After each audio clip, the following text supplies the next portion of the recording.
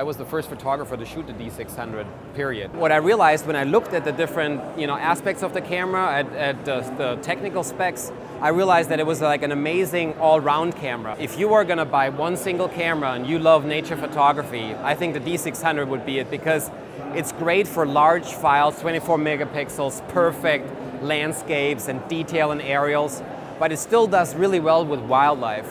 For me, it's so much about the place, wilderness, that it's really important for me to link the animals with, with the location because they depend on their habitat, they depend on that landscape, and so I want to show them interact, I want to show them as part of it.